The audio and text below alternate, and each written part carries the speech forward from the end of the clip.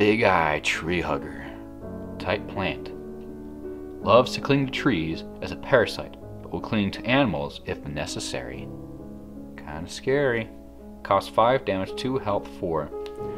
Uh, this is kind of a cool looking card, you know, this big old plant with this big eyeball and it just kind of parasitically tight um, attaches to other creatures and animals and plants and stuff. Um, anyways, that's just kind of one of these ideas I randomly had, so if you want to try something cool for a creature, you can try this one. The Big Eye Tree Hugger.